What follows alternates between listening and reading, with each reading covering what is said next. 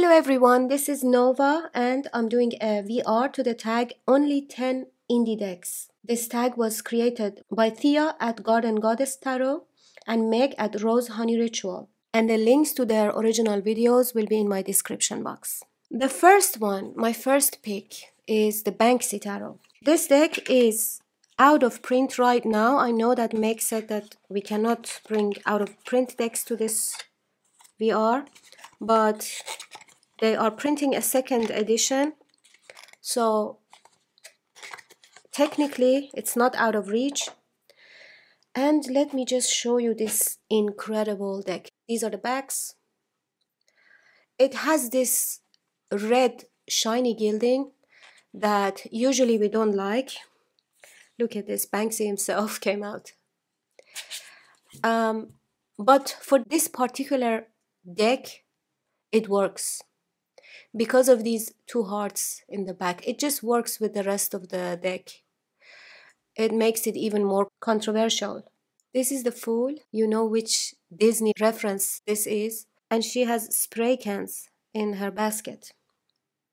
This deck features the politically charged and controversial words and artworks of the UK street artist known as Banksy, who kept his identity anonymous. This was the Princess Leia. Fuck this imperialist bullshit as High Priestess with a spray can. She just wrote this on a wall. And this is the High Priestess. This deck is I mean, you just have to decide for yourself. If you guys want me to do a 4K flip through of this deck, let me know. This is the Emperor. This deck is very special to me because I appreciate street art and graffiti and hip hop culture very much. And Banksy is one of my favorites of all time. I like hip hop culture because of its controversial point of view on everything. But also, I love the music, I love the arts, the street art, the style, the mindset. Look at this Wheel of Fortune. The cool thing about this deck is that this artwork by itself has so much meaning. And then putting this art as the Justice card adds another layer of profoundness to it. The choices for the tarot associations are so darn interesting. Look at the hanged man. You will notice that the shadowier cards are looked at from a more positive point of view. This is the death card. And the lighter cards, the more positive cards, are approached from a more negative angle. Each card makes you think.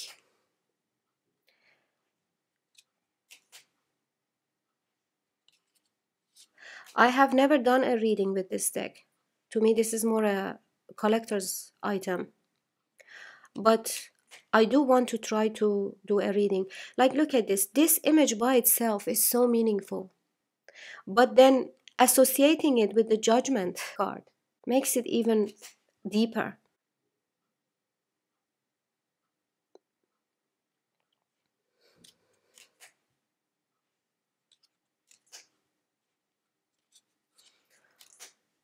Let me know guys if you want a 4K flip through.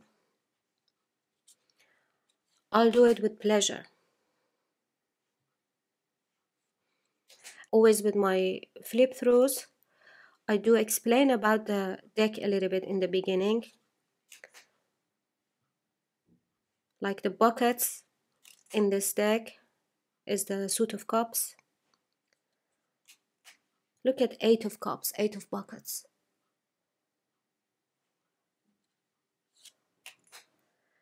Yeah, this is incredible. I should do a reading, an example reading with this deck.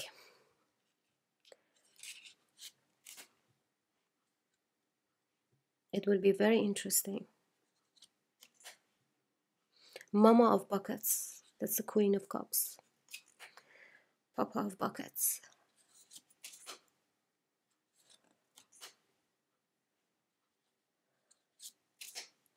You want to see this deck? Guys? Shall I go on to the end? Six of spray cans. This is the Six of Swords. Look at the Eight of Swords. Imprisoned in a shopping cart. Incredible. Look at this. Ten of spray cans. This is the Ten of Swords. The fact that it's a kid, social media has turned everyone to a kid. Right? Bullshit has become so important to people. Alright, I think I'll better do a flip through of this deck than showing all the cards to you guys in this video because I have another nine amazing decks to show you guys. Alright, so this was the Banksy Tarot. Next is the Story Medicine Tarot Animal Woman, second edition. This deck, these are the backs.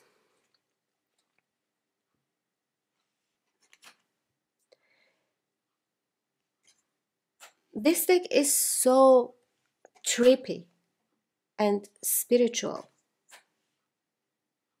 This is the most spiritual deck I own. I might have other decks that are perceived more spiritual by others, but to me, this is the most spiritual. At the end of the day, spirituality is a very personal experience. And I can't put it into words what I get out of this deck. I can't put it into words what's happening in this deck. But I know it so well in my heart. It's exactly like a psychedelic trip that you can't put into words. You can't put into words what you learned and what you've experienced. I would love to know if any of you guys have this deck. I would really love to know. Please write for me. What is your experience with this deck?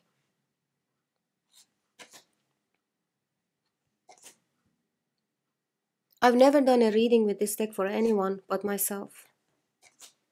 I can't even imagine what to tell them if I pull any of these cards. and it's beautiful i love the artwork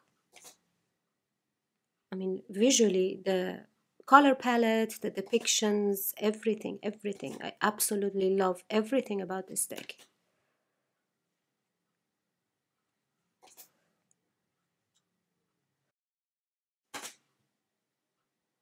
so this was my second pick the Story Medicine Tarot, Animal Woman. And next is the Naked Heart Tarot by Jillian C. Wilde. This deck made it to this only 10 video because of many reasons. One main reason is the artwork. These are the backs, which I love. I have edged it myself. So the artwork is my thing. This is one of my favorite artworks on all the decks that I've seen. That's how much I like this. Everything about it. The color palette of this deck, the animal energy, the esoteric vibes of this deck and the other reason is that it works like a dream. This is my number one divinatory deck. It tells me what will happen all the time. It tells me what will happen in the future. That's why I don't work with it as much as I would like to. It happened a few times that it warned me about the negative outcome of something that I wanted to do and I ignored the warning and went ahead and did what I wanted to do and got burned so bad. I can't say I have a negative experience or negative feeling towards this deck because I definitely don't. I actually really appreciate the magical capability of this deck. I'm just avoiding it unless I really want to take into serious consideration whatever it predicts. Then I will do a reading with it. Otherwise, I won't. But it's a shame actually because I love it. Also, the cardstock. Some of these cardstock are just this is butter. Love, love, love this deck so much. The Fool.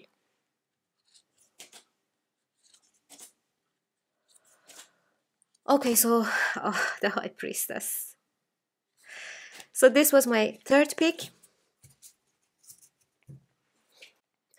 Number four is the Luminous Void Tarot created by Laura Zospen. This deck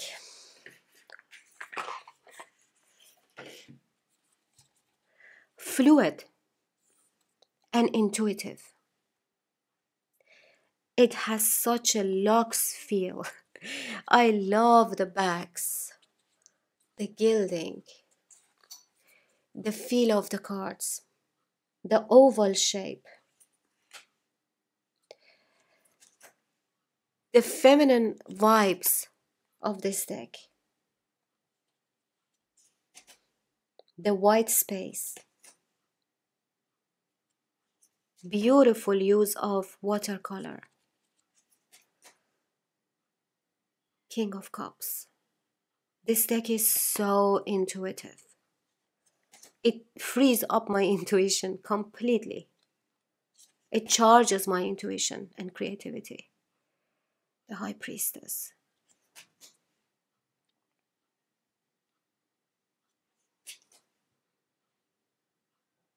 At the same time, it is very elemental and numerological, symbolic. It has so much to offer.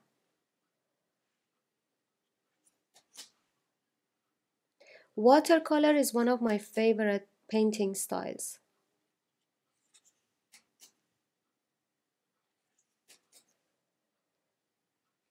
About this deck, Queen of Swords, Death. I love everything from A to Z about this deck.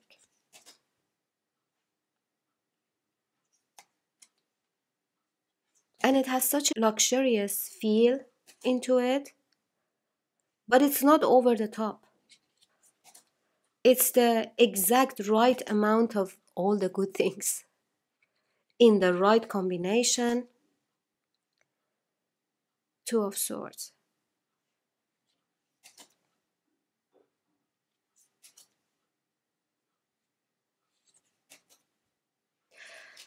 So this was my fourth pick, the Luminous Void Tarot. My fifth pick is the El Goliyath Tarot. I don't use the box anymore because it's awful. The guidebook is amazing though. This is my shadow work deck. But look at the artwork. I don't need to say anything about this deck. I don't need to bring any reason why I chose this deck in my top 10. The take on each tarot card like this is the star. Justice, the dives of equality. I love this artwork, the Three of Swords. It communicates the shamanic and raw energy of animals and plants and nature.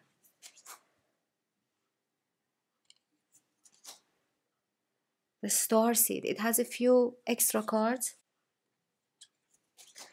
This deck passes on a very specific field.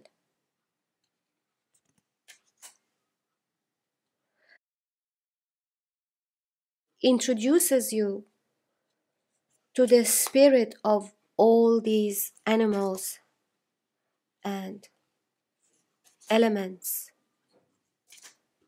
and plants.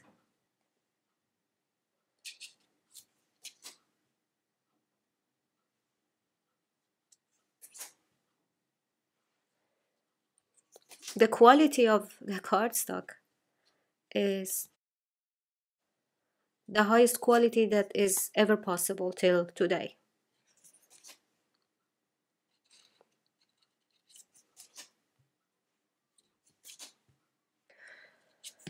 So I would never let go of this deck, ever. And this was my fifth pick, the El Goliyath Tarot. Next is the Oracle deck, the Illuminated Earth Oracle. This is the very first indie deck that I ever bought. I did edge it in this gold. I have used this deck so many times. The quality, I remember the first time when I bought this deck, how happy I was with it. And it wasn't that expensive, it was like 45 euros. Some mass market decks cost that much nowadays. I picked this deck for so many reasons. Artwork, of course. I am a very visual person. Artwork and the color palette and everything is extremely important to me. And this deck is so earthy. It's like the El Goliyath's way of looking at animal spirit, like the same way of looking, the same angle of connecting, but this time on earth. It's again very shamanic and spiritual, very raw. And this deck pairs so well with so many other decks. And above all of that, the keywords are so incredible. Multiverse, balance, anguish, attachment, childhood, moon, blocked, air, patience, tempest, gifts, vulnerability, accomplishment, erosion, you see, mystery. So this is definitely, if I had to have only one oracle deck, it would be this one. That's how much I like it. Done by Claire Mack, 2018. Wow, five years ago I bought my very first indie deck. Interesting. maybe I'm mistaken though. This is what I think right now, but maybe I will come across a deck in my collection that is an indie deck and I bought it way before 2018. All right, now we have the Shewolfe Tarot I picked this deck for many reasons.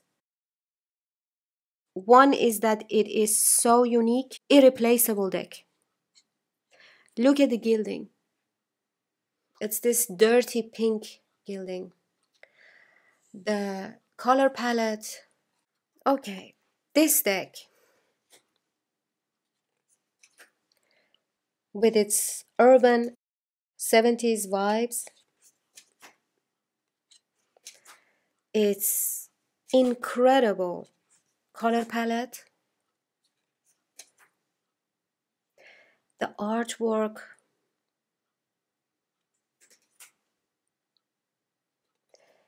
it's a mixture of Egyptian shamanism and even Native American shamanism with Hebrew letters and Kabbalistic symbols. It's the perfect combination of all the great things. Things that I like.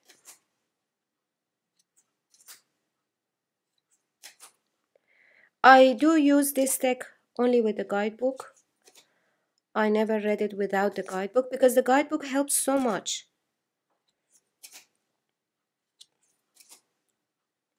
The guidebook helps you get a lot more out of this. You see, it even has like these Aztec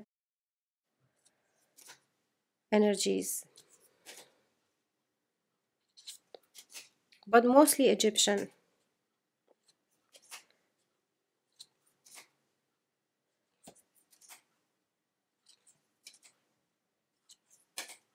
I really recommend using this deck with the guidebook.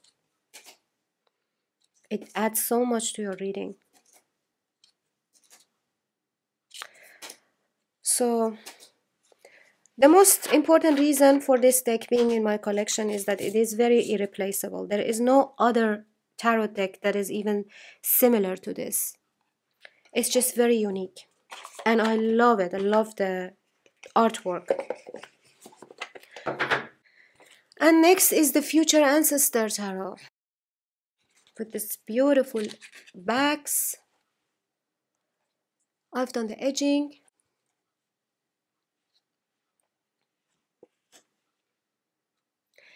This is my grandma energy.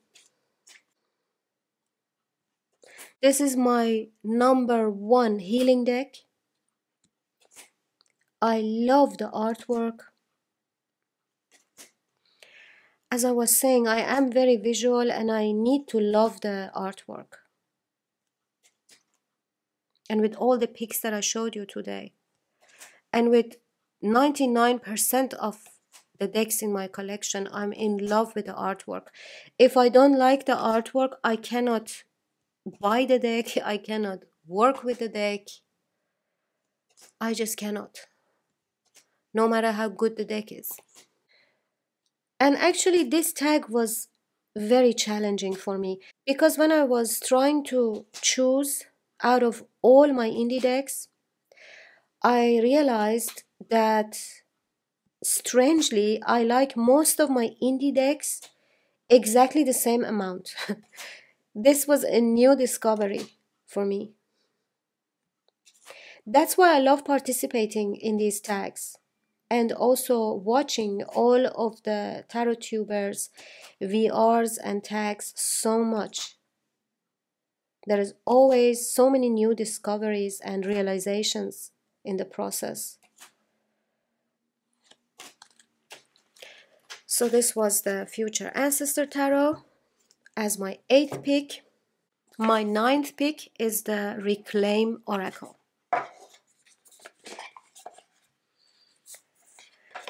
This little deck the size of it, is just the perfect size. It's not that small it's larger than a bridge deck but smaller than most oracle decks. It has so many cards in it i think 88 i love the bags i love the cardstock the texture of the cardstock. This is the gilding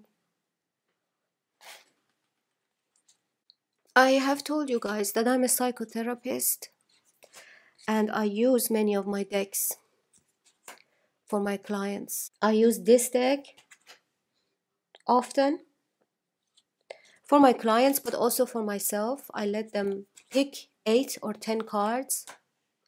I let my clients go through the whole deck and pick 8 or 10 cards. And then we talk about each card, why they picked it, and because it's like eight or ten cards it will take always a few sessions but when we discover so much.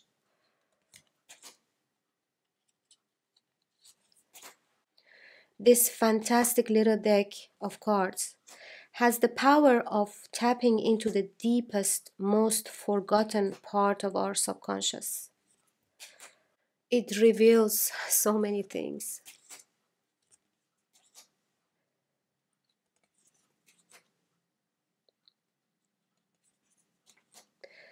and the creator of this deck I really appreciate this level of caring and paying attention to detail because the quality of everything is absolutely fantastic.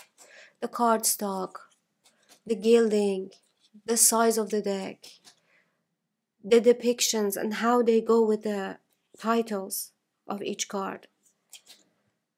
It is like a journey. I would definitely need this deck if I had only 10 indie decks. This would be definitely one of them. Without a doubt. Perseverance. Amazing deck. So this was my number 9 my last deck is the Northern Animal Tarot because this deck is my soul deck. This is the first edition, my favorite edition. These are the beautiful bags. I have done the edging myself. With the first edition, the colors are more muted. The other two editions are much brighter. But exactly because the colors are more muted, it feels organic and it has a scent.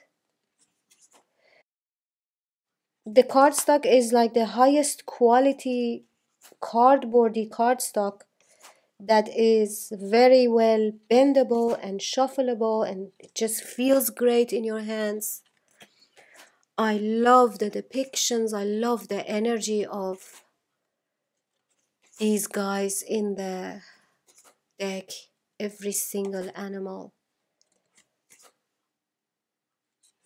I connect so deeply with every single one of them.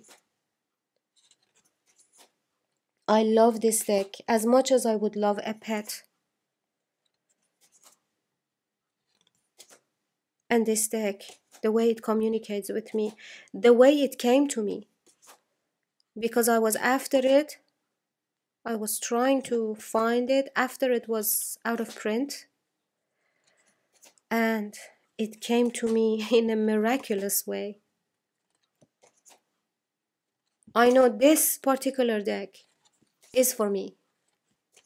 It was meant to be with me and if I can only keep one indie deck, that would be this one. So I'm finishing with this deck and I hope you enjoyed watching my video. If you like my videos, don't forget to subscribe to my channel. I would really appreciate that. And I hope to see you in my next videos. Let's not finish with Three of Swords and not with the Devil. We finish with High Priestess.